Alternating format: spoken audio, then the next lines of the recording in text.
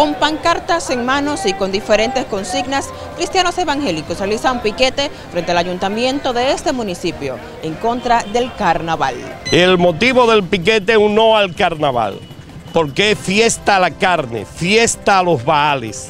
Y además entendemos que febrero es el mes de la patria.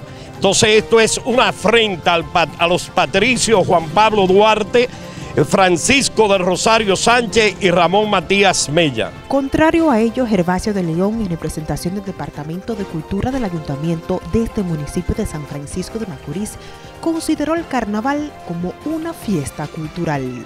Oye, a mí me sorprende la actitud de los hermanos evangélicos, porque el carnaval eh, ha sido una realidad en República Dominicana, el caso de Santiago, La Vega, este, Cotuí, Puerto Plata, eh, pero no solo aquí, el carnaval a nivel mundial, desde la antigüedad, se ha venido desarrollando como una manifestación del pueblo, es una parte de la cultura popular.